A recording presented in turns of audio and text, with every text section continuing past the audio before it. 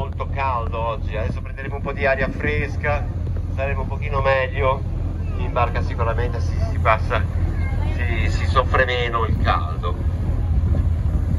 Siamo nella zona più antica del porto genovese, come molti di voi sanno, l'acquario qui a lato, famosissimo acquario di Genova, nato negli anni 90. Pensate che questi moli, queste banchine che abbiamo tutto intorno, risalgono al periodo medievale, anzi romano, già i romani usavano questa insenatura con i loro eserciti per andare a venire dal Mediterraneo nord Italia.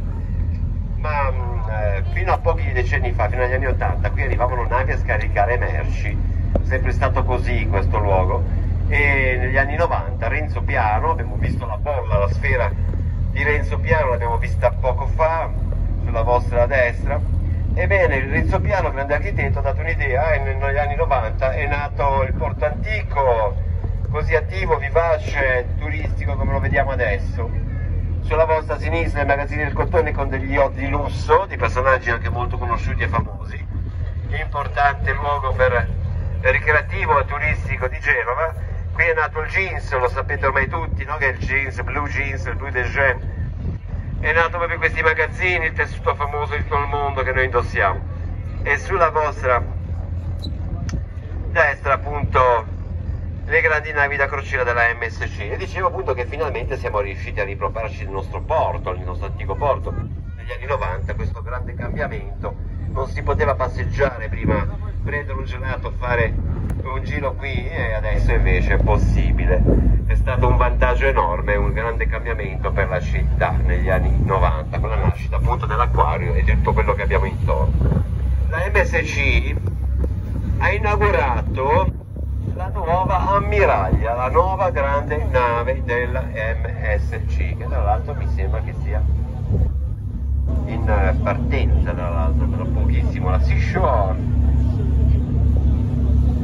La Seashore è stata inaugurata in questi giorni, praticamente il primo giro croceristico, il primo tour di croceristico che sta facendo da partendo da Genova proprio oggi è la nuova grande ammiraglia. Siete fortunati a vedere per la prima volta questa grande nave, la più grande nave da crociera che c'è in Mediterraneo in questo momento. Ed ormeggiata a Ponte dei Mille, dove c'è la Statua Bianca, la vedete la Statua Bianca a lato? Da lì si partiva per andare a New York con le navi, a Buenos Aires, e da lì dunque sono partiti milioni e milioni di italiani. La statua ricorda i nostri emigranti.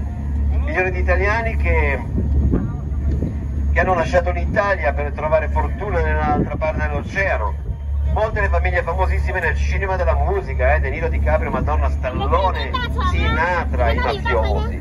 Sono partiti tutti da quel molo. Poi abbiamo anche la zona invece dei ferry boat terminal dove partono e arrivano i traghetti per le nostre isole, Sicilia, Sardegna tutti i giorni, ma anche, ma anche la Nord Africa anche il Nord Africa, anche la Spagna, eh, anche altre località del Mediterraneo, ma Genova è sempre stata collegata a ogni località del Mediterraneo, fin dai tempi passati. E qua davanti a voi inizia invece la zona e propria del porto, la zona commerciale, si capisce con i container, grandi navi porta containers, questa non è neanche delle più grandi, ce ne sono anche di più grandi di questa, che arrivano però nella zona nuova del porto, qui non potrebbero neanche entrare, nella zona nuova del porto di Genova che è quella di Voltri, il nuovo porto di Voltri. Sulla parte invece lato sinistro c'è la zona, tutta la zona molto grande delle riparazioni navali, dove vengono riparate tutti i tipi di navi, anche molto grandi, e con i bacini di carenaggio, sono delle grandi vasche dove viene posta l'acqua, eh, tolta l'acqua, scusate, le navi possono essere eh, messe in sicurezza, manutenzione di ogni genere, anche nelle parti sommerse. Vi dicevo appunto del porto di Genova, che è uno dei più grandi portati del Mediterraneo, è lungo 15 km ed è importante perché qui arrivano 2 milioni e 800 mila container all'anno, ma molta, e la legge anche scusa, come ad esempio le materie chimiche stivate proprio in questi silos a lato, pericolosissime, sono materie anche esplosive, tossiche, lontane dalle case apposta, ma importanti per la nostra industria. Il porto di Genova insomma è importante per la nostra economia, il 30% dell'import-export italiano transita da questi moli, molte le materie prime che servono all'industria italiana del nord, della Lombardia, le cellulose, i legnami, i metalli, gli alimentari, il cacao, il caffè, la farina, il riso, mais, zuccheri, insomma. Tanto e tanto transita da questi moli, proprio per tutti noi, per la nostra industria, per la nostra economia. Ci tengo a dirlo, insomma, è di lungo 15 km questo porto, insomma. È importante, strategico per tutti noi, non solo per Genova, insomma davanti a voi il muro davanti a voi il mare, mare sul mare è quello della diga foranea è un muro che serve per eh, difendersi dalle onde del mare. E qui soffiano ci sono venti che soffiano e portano onde molto alte. Ed è lungo quanto il porto. La diga foranea è lunga 15 km un muro sul mare un fondale di 20-30 metri lungo 15 km un'opera che stata veramente molto molto ciclopica insomma pesante da realizzare. I messaggi arrivava laggiù in fondo dalle colline dalle case. Tutto quello che vedete qui davanti a voi fu creato negli anni 50 questo è il più grande riempimento a mare uno dei più grandi scusate a mare del mondo. E sono chilometri quadrati di, di, di, di spazio rubato al mare gli abitanti non furono contenti nemmeno qua di vedersi privare del mare, ma il porto si ingrandiva sempre di più, si allargava, si allungava. Qui è nata la più grande industria siderurgica italiana, Vita Sidere, Ilva, poi diventata ArcelorMittal. Qui si produceva acciaio, nelle nostre industrie negli anni 60 fu il fiore all'occhiello del boom economico che abbiamo avuto, l'unico tra l'altro pian piano la crisi ha colpito duro a livello occupazionale, pian piano le acciaieri hanno cominciato a ridurre, a chiudere. Oggi si produce pochissimo acciaio a Genova e questa nave che abbiamo a lato scarica acciaio in rotoli che arriva da Taranto. Ora il rovescio della medaglia è che qui almeno a livello ambientale abbiamo risolto il problema perché anche qua la situazione era tragica negli anni 80-90.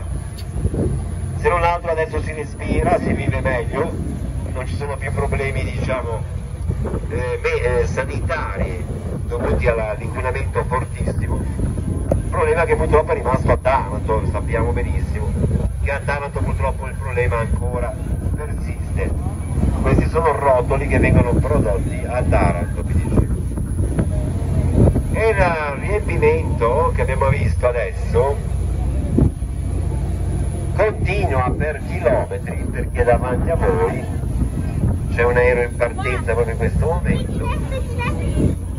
C'è l'aeroporto di Genova che sul mare 3 km di pista sul mare hanno sbancato intere colline per fare questo aeroporto c'è il mare anche dall'altro lato della pista.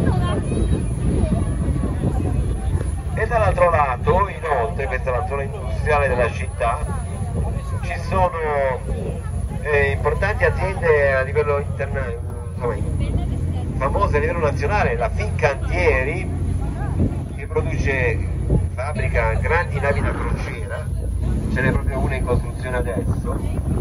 C'è l'Ansaldo c'è il polo tecnologico, c'è l'aereo Piaggio, produzione di aerei, insomma molte piccole, grandi, medie aziende, cantieri navali, porto turistico dove appunto i VIP eh, di mezzo mondo portano il loro yacht, visto che l'aeroporto eh, insomma, gli facilita i collegamenti e come se non bastasse, come se non bastasse c'è anche il porto petroli dove arriva il petrolio con le petroliere insomma una zona importantissima a livello industriale come potete immaginare e non solo per Genova come vi dicevo. Il porto di Genova comunque non è finito qua. Perché pensate che davanti a voi, ad alcuni chilometri da qua, di fronte a voi, c'è la zona più importante del porto genovese, la zona nuova del terminal di Voltri, porta containers di Voltri, dove arrivano le più grandi navi del mondo, con 20.000 container sopra. E lì insomma ormai che si svolge il più del lavoro portuale genovese.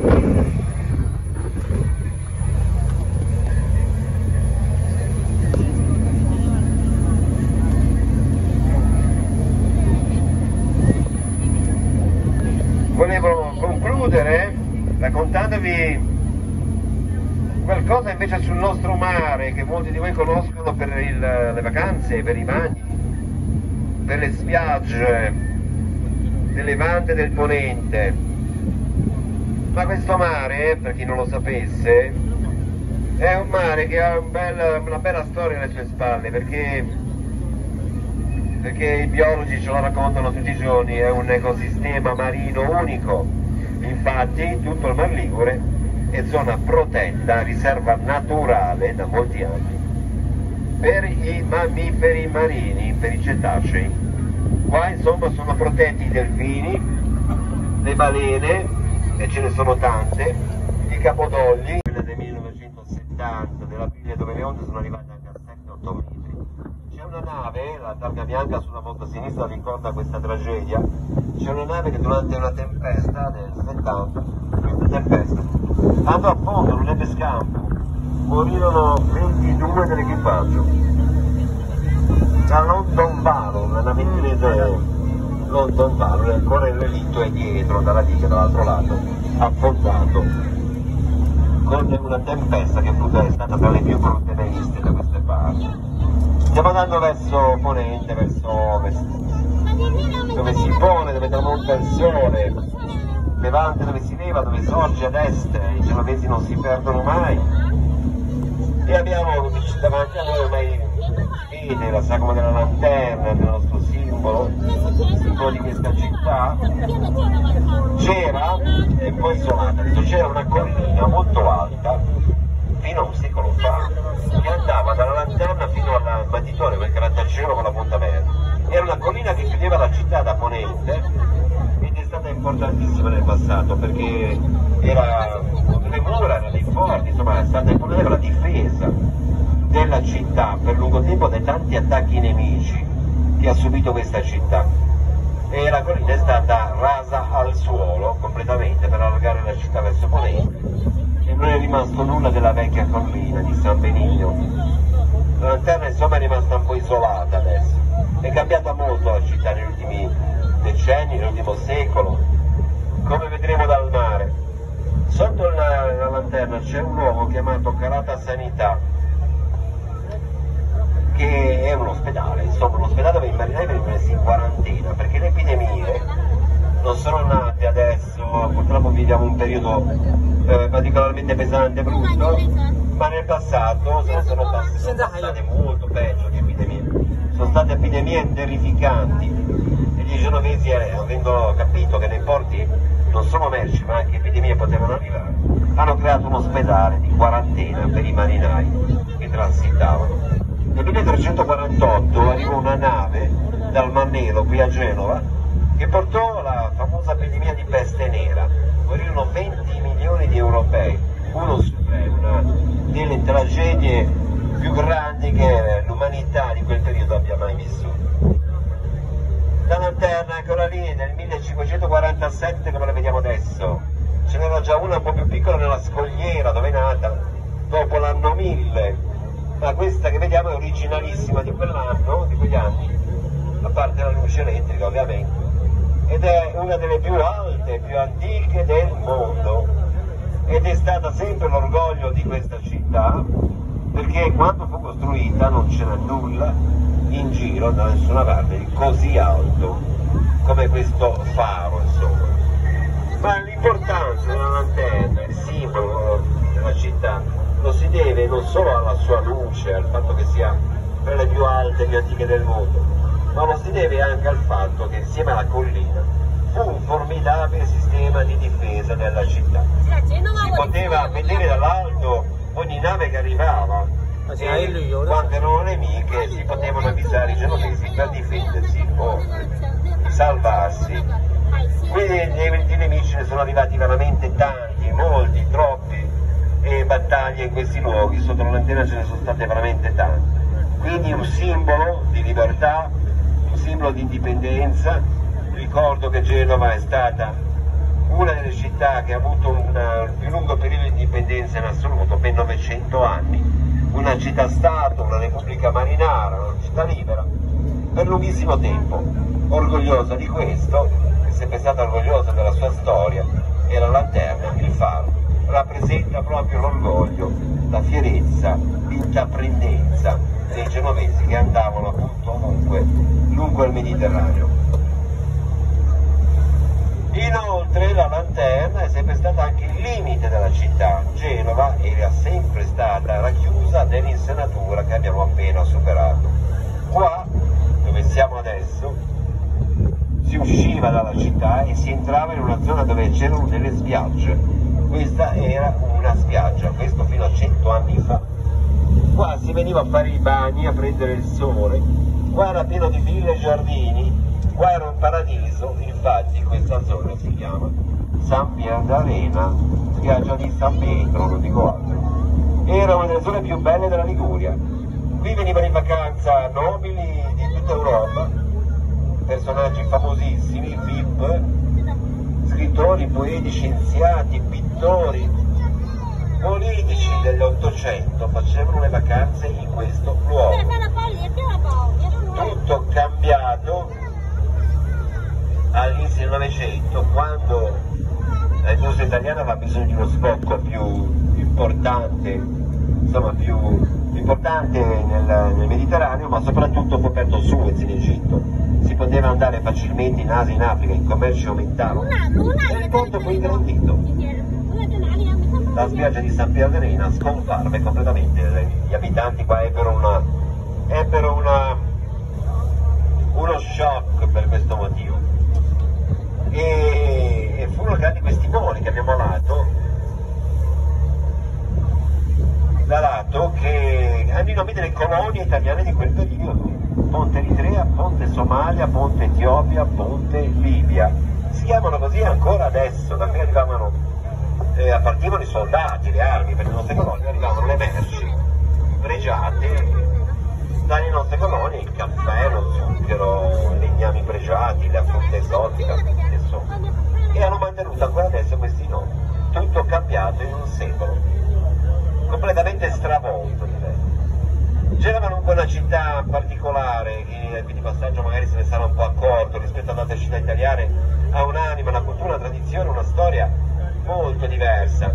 Non può essere altrimenti, visto che i genovesi hanno navigato, sono andati ovunque nel Mediterraneo per secoli e quindi e quindi, come dicono gli storici, non solo merci, ma qui transitarono uomini di ogni genere, di ogni etnia e soprattutto culture. Genova ha messo in contatto il Mediterraneo con Nord Italia e Nord Europa. Genova non è mai stato un porto, ma semmai una porta, nel vero senso della parola, di contatto tra due mondi molto lontani e diversi.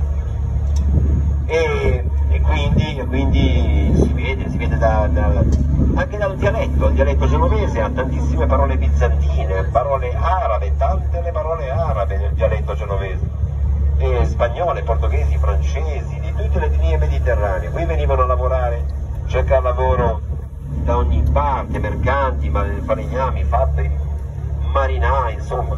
E Genova accoglieva multietnica per eccellenza, una città che ha fatto di questo mix incredibile di culture la sua forza, la sua anima, la sua tradizione, insomma. La storia dei genovesi in realtà è la storia di, di chi andava per mare, non lo sappiamo.